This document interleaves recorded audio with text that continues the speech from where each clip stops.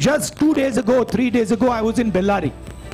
I was told in Bellary that Bellary is the jeans capital of India.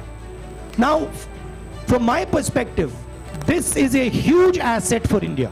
If we open the doors of the banks to the jeans industry in Bellary, if we support the jeans industry in Bellary, if we give them the protection they need, we will get many, many entrepreneurs who will give lakhs and lakhs of jobs out of Bellary.